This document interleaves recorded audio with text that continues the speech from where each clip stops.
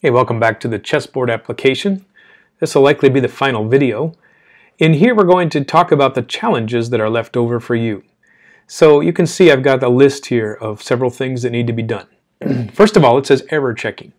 So make sure that all cases work as designed, and I want you to check for out-of-bounds errors.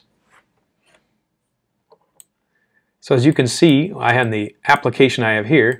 If I click near the edge of the screen, it'll print legal, legal, but not crash, even though some of those are out of bounds.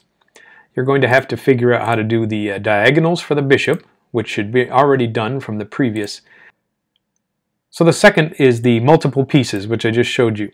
So currently the word knight is uh, hard-coded into the program in two places. So instead of using knight, we want to get the value from the combo box.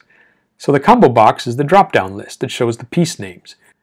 And so we'll have to send in the string value from the combo box into the function called mark legal next moves. That requires a, a piece name. And uh, it would be kind of nice to show the uh, color changes of the board as well as the text of the uh, type of piece. And so make sure that you got the uh, all the stuff working. Send me a video of the application that you're running and demonstrate all the features that are working and then uh, explain some of the non-obvious parts of the tutorial that we did here.